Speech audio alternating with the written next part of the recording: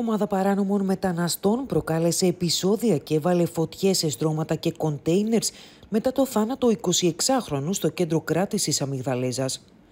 Σύμφωνα με την αστυνομία, λίγο μετά τη μία τα ξημερώματα της Τετάρτης, στον χώρο του κέντρου κράτησης κλήθηκε μονάδα του ΕΚΑΒ προκειμένου να αντιμετωπίσει λιποθυμικό επεισόδιο που παρουσίασε Ινδός 26χρονος.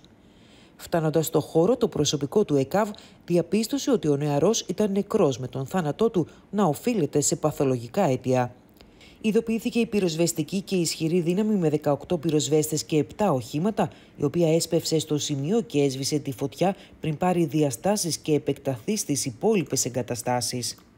Σύμφωνα με πληροφορίε, η ομάδα των παράνομων μεταναστών ξεσηκώθηκε και έβαλε τι φωτιέ, υποστηρίζοντα ότι δεν δόθηκε φαρμακευτική αγωγή στον 26χρονο.